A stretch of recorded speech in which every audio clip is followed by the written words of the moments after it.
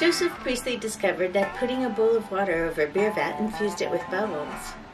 He found the water to be pleasant tasting, and he served it to his guests.